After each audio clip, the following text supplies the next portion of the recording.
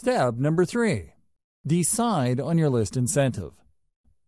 Let's get one thing straight people are not going to sign up to your mailing list just because.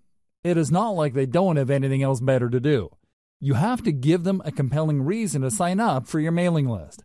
There has to be something in it for them. This is where incentives come in. You're going to give away something for free, which adds value to your potential list members' lives. They would look at these incentives as ethical bribes. You're bribing them to join your mailing list. It's not enough to promise that you're going to give them great information regarding the niche they are interested in. Anybody can make that claim. To create the perception of value in the minds of your potential list members, you have to step up and give them a very powerful incentive. Now, the next question becomes what kind of incentive should you offer? The bad news is that it depends. I wish I could tell you that there is some sort of one size fits all or universal answer to this question. There isn't. The winning incentive varies from niche to niche. It also varies based on the sources of traffic that you have. Accordingly, you have to play it by ear. Ideally, you should offer the 10 common types of incentives that I'm going to lay out below. You should offer them in sequence. Once you've gone through all 10, look through your conversion records and pick the incentives that got the most signups. That's the best way to know. Anybody could tell you that you should give away booklets or simply update people, but that's assuming too much. People who are interested in your niche might prefer something else. The best way to find the right incentive is to simply go through all 10 common incentives and pick the best performing type. Once you have found the highest converting type, then you can optimize as to which specific giveaway of that type works the best. I hope we're clear here. You have to go through this list. There are 10 common types of incentives you can offer. Here they are Topic based email series. This incentive spoon feeds list members answers to the common problems they may have. The value add is the content they receive in their emails. People who sign up for this type of mailing list incentive expect that you would be sending them pre programmed emails that would lead them through common problems associated with the niche they're interested in. You would start at the beginning then teach them a few things. After which, you then send another email which teaches the recipient another set of solutions, so on and so forth. This incentive gives you a tremendous opportunity to build expertise. You're not laying out all your expertise at once. Instead, you are sharing to the recipient certain solutions, which gives them enough time to implement until the next set of solutions comes. Cheat sheet. A cheat sheet is just one simple document. It may be a one page item, or it can run several pages. Whatever form it takes, it is topic based. A cheat sheet just focuses on one specific topic and breaks it down. The cheat sheets are very popular because they tend to highlight easy to know or easy to overlook information. People are constantly looking for stripped down info. They don't have time. They just want to scan something that would give them the right answers as quickly as possible. They are also looking for something that spells out the answer in the simplest terms. It's easy to see the value of cheat sheets. It's no surprise that this form of mailing list incentive is quite popular. Template giveaway. Templates are very popular because people do not want to screw around with solving problems from scratch. They'd rather work with an existing template that they can just plug in specific information. Of course, template giveaways don't work across the board. While you can probably get a lot of subscribers for resume templates, you probably won't get as many takers if the template addresses something that is so specific or so abstract that it is not really all that relevant. Templates can work, but it all depends on your mailing list niche. Complete Starter Kit. You can compile all the solutions to a specific problem and give people access via an email link. Typically, this would involve people signing up to your squeeze page and being redirected to an online resource or a PDF file that compiles all the content the reader needs to solve a problem. This content can take many different forms. It can be a series of videos, audio files, or links to PDFs, or even other websites.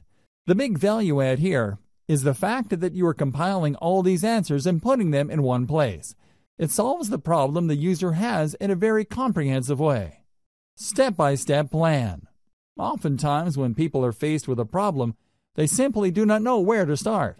Even if they have a fairly general idea of the solution, They don't have a plan to attack the problem in a comprehensive and clear way. A step by step plan enables you to guide the reader to solve the problem effectively. Case studies. Everybody likes a good story. If anything, most people would like to see stories involving changes to other people's lives before and after something happened. These personal stories draw people in. They were able to connect on a person to person basis. You can use these case studies to not only build up your mailing list, but also to upsell whatever service or product your company is promoting. You can even upsell members who sign up to your mailing list for case studies to other mailing lists. The possibilities are endless. Case studies work in most niches, but this is not a slam dunk across the board. Keep that in mind. Latest and greatest news. This is my personal favorite. You have to understand that when you're giving away some sort of bribe for somebody to join your mailing list, you run the risk of attracting people who only sign up for the bribe. It doesn't matter whether you're giving out software, cheat sheets, booklets, books, templates, or whatnot.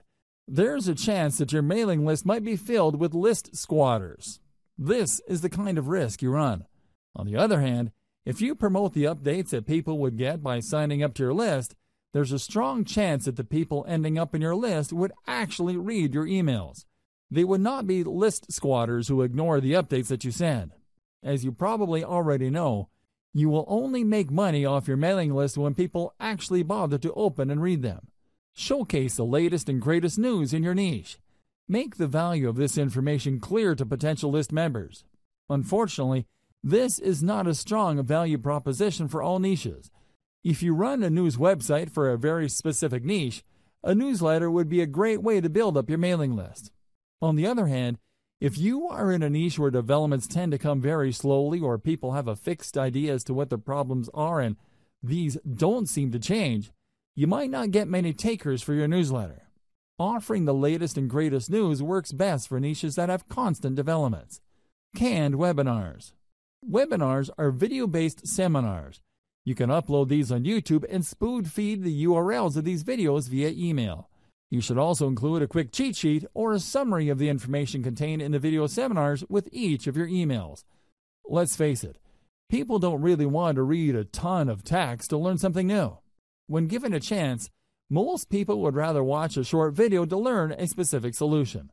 This is why, not surprisingly, a lot of people love video based seminars, as long as these seminars deliver solutions that people are actively searching for.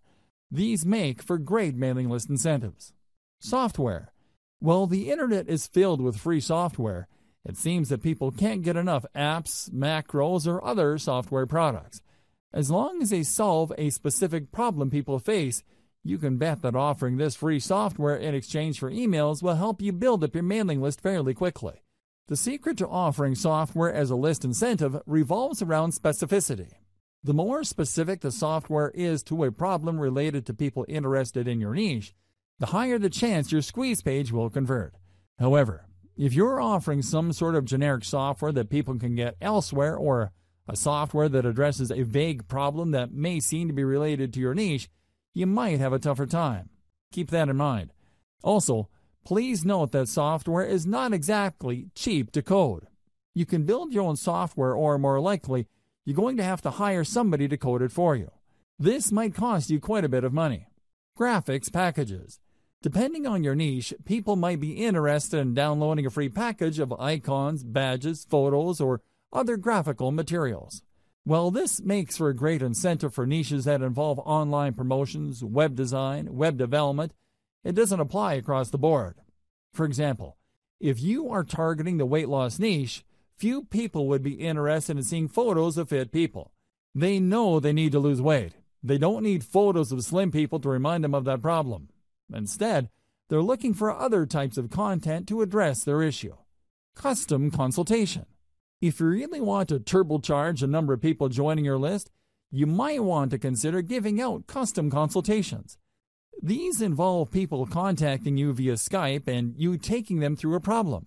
You have to tightly define the kind of consultation you have with people. Otherwise, you might sink into a time black hole. Seriously, there are people out there that just love to talk. They would chat your ear off if you let them. Your consultation must be focused on a very targeted problem. so as to minimize the amount of time you spend with a list member. Remember, there will be people who would sign up for your mailing list just to consult with you, and then once the consultation is over, they would unsubscribe from your list. Factor this into the amount of time you spend on custom consultations.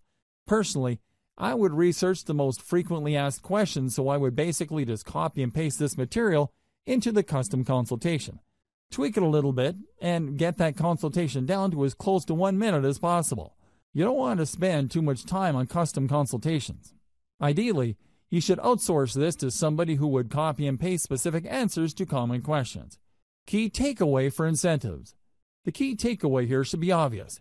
Giving away a book or booklet for people to sign up to your mailing list is simply not enough. You have to figure out the industry standard giveaway for your niche and try to outdo the stuff that other people are giving away. Ideally, you should go through all 10 incentives above and pick out the most effective one. It all boils down to coming up with something better or something that has a greater perception of value. Avoid this problem. As I have mentioned earlier, there are going to be people who join your list just for the freebie. These are list squatters. To some extent, you really can't afford these people. You basically have to accept the fact that a certain percentage of your list will be squatters. Your job is to get that percentage as close to zero as possible. One way to nip this problem in the bud is to sell people on the value of your list. While your squeeze page should do a good job selling the value of your incentive, you should also talk about what they would get in the email updates you'll be sending them. You should be clear that once they join, they will be receiving emails. Highlight the value those emails contain. Otherwise, when people start receiving emails, they would either unsubscribe or worse yet, they won't unsubscribe. They would just take up space on your email roster. Depending on the email service provider you go with, you might get charged for the amount of list squatters you have it may well turn out that only 1% of your mailing list of 100,000 people actually engage with your emails. These are people who actually open and read and click through your email.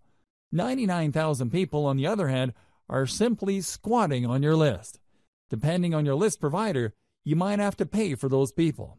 Avoid this unnecessary drama by spelling out the value of list membership in addition to the freebie you're handing out. Also, when people download the freebie, highlight the value of the email on the confirmation or freebie download page. The key here is to prevent people from being surprised by your email updates after they have downloaded your incentive.